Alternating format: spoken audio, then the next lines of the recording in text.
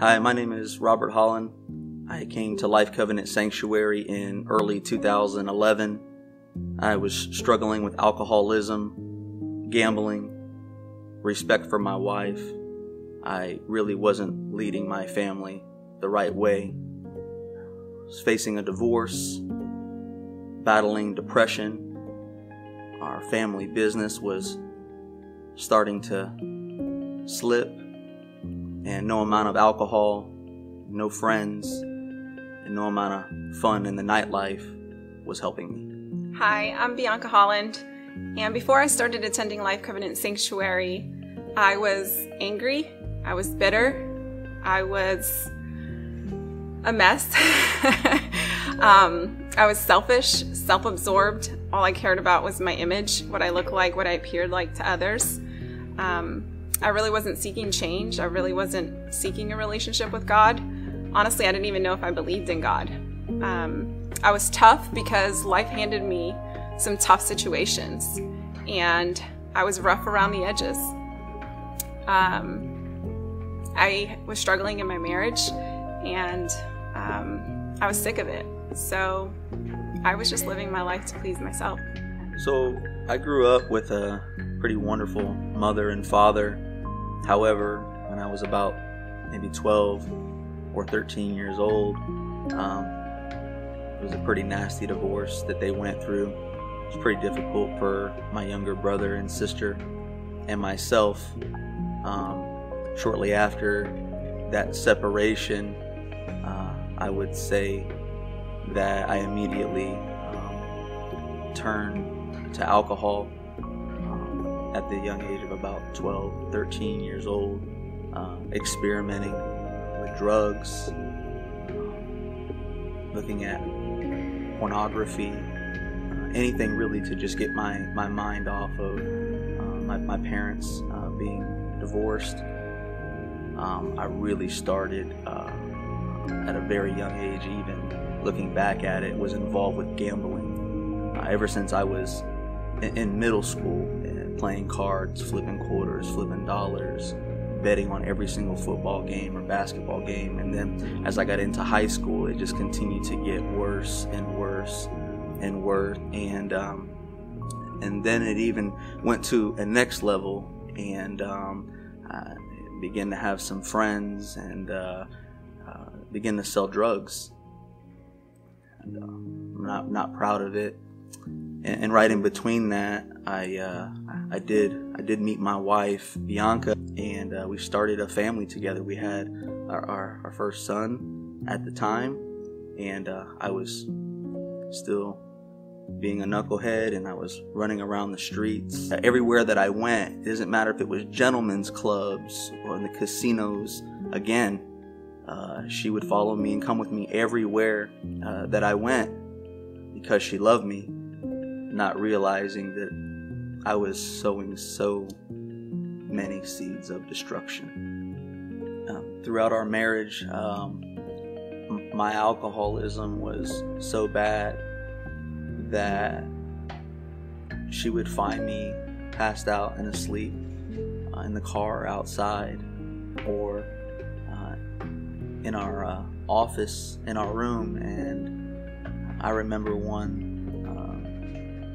specific night that i was gambling actually online and um, and i had a, a, a, bottle of liquor that i was drinking while i was uh, actually gambling online because the addiction was so bad that if I couldn't be in the casino, then I would just do it online.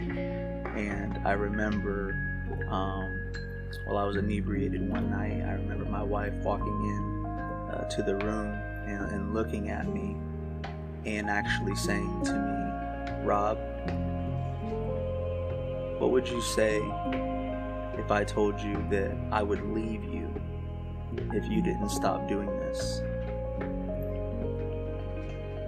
it it hurts me to say that I answered her as honestly as I could at the time, and I told her, "Well, then you might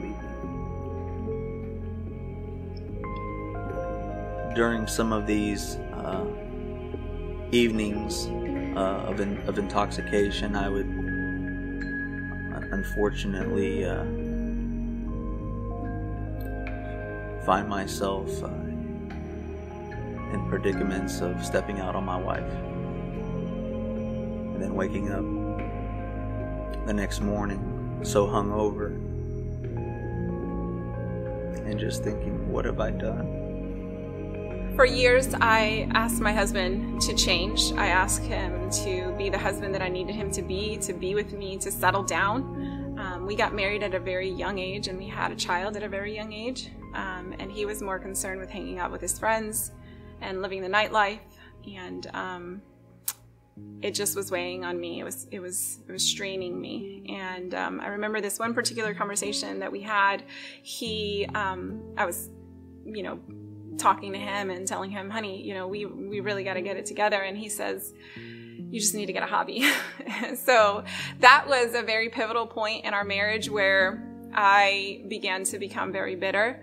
And I had the mentality of you can't beat him, then join him. And so I began um, just following his lead and, and allowing myself to go down a path that I knew better. And this eventually led to me stepping out on my marriage. Um, I am not proud of that.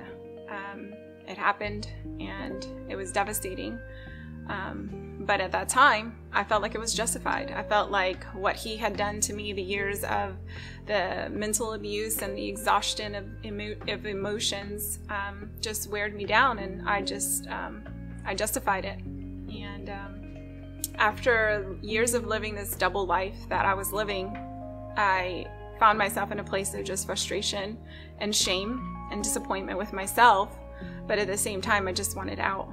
I told my husband I wanted a divorce and I gave him all the information. I, I shared with him all of my deep, dark secrets, everything that I had done to betray our marriage and our trust, and I left. People begin to come in my path and, and tell me about a little bit of more, more about going to church and uh, through the Word of God and the men and women of God here, I was uh, baptized in the name of Jesus and filled with God's Holy Spirit, and it forever changed my life. When I left my husband, I felt like I was finally free from this toxic relationship that I had been in for the last 10 years. I felt like I had this liberty because I had released all this information that I had been hiding for so long. And I was just ready to live my best life. And um, so, ironically, I continued in the same path that I was living with my husband and going to clubs and nightlife and trying to be super fabulous, thinking that that was going to fill this void. I was so vain. I was thinking that my looks and my wittiness was going to get me somewhere. And so every night I would come home after long nights of being out partying and VIP and this and that, and I would come home and I was still empty. I was still, I still felt something was missing.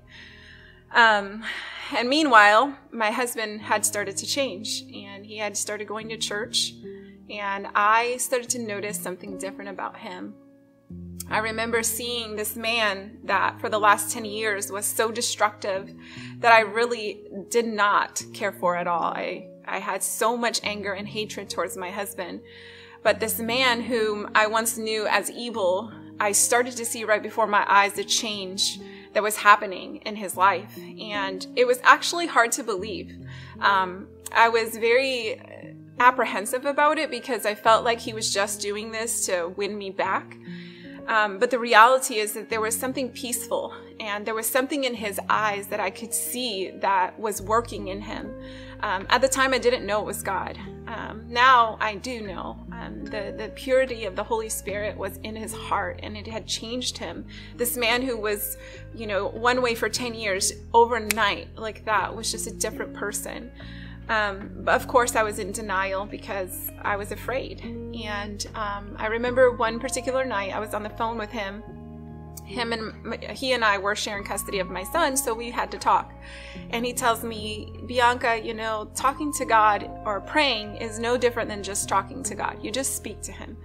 Um, of course, I'm like, don't talk to me about God. you need God. I don't need God. Um, so I ignored him, but the words really sat with me. Um, anyhow, that night I lay there in my apartment and my whole life just flashed before my eyes.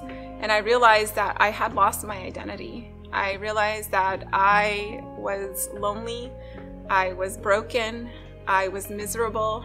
No man, no club, no amount of makeup, no expensive clothes, no jewelry, no nice cars, none of that. None of that could fill the void. I couldn't shop enough to fill the void that I felt. And this moment, it just happened so quickly, but so slowly at the same time. But that night, um, I broke and I was crying hysterically in my bed, realizing what a disaster my life really was. And so my husband's words replayed in my mind, and it was just, I guess, I said, let's try this. And I looked up to my ceiling, and as I'm there crying in the fetal position on my bed, I looked up and I yelled, Help me! Help me! I shouted to God, Help me! And that's it. That's all I said was, Help me. I fell asleep. And the next morning, I was, there was this rush of sorrow and this rush of, of just feeling bad for everything that I had done to my husband. And I called him and I said, I'm sorry and I said, I'm willing to give this another try. So he rushed over to my apartment and we spent the entire day together. And um, later on in that day, it was a Wednesday night, my son Robbie was begging me, Please, mom, let me get baptized. I want to get baptized. So I said, okay. And my husband said, you know, if we're going to try to work on our marriage, we really need to put God in the middle of it. I didn't really know how I felt about that, but I came. And um, when I came into this church, to be honest, my arms were crossed and I just, I had already shut the idea down. Um, but God had another plan. And I walked in with my arms crossed, but I walked out with my hands lifted. And I surrendered my life to Christ that night. I ended up getting baptized with my son, Robbie. And it was the best decision I ever made in my life and my life has never been the same since. And that was 10 years ago. And here we are. Amen. By the grace of God. Um, 10 years sober, totally delivered from alcohol, gambling, the nightlife. God is just so good. Amen. I'd like to uh, share a scripture in 2 Corinthians 5:17 that says, "Therefore, if any man be in Christ, he is a new creature.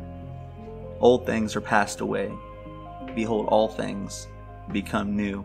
And I believe with all of my heart that our marriage is made new Amen. through Jesus Christ. Amen. And I'd like to share that the church is a place of safety, the church is a place of comfort.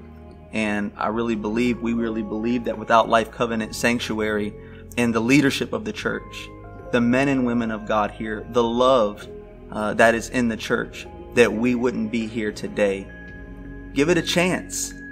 Uh, give it a try. Uh, Jesus is pursuing you and wants to restore you. That's it. You have nothing to lose. We invite you to Life Covenant Sanctuary in Bradenton, Florida, to worship with us, to praise the Lord with us, and to take a journey. It doesn't hurt to try. All you're going to do is visit and see what God can do in your life. We hope to see you soon. God bless. God bless.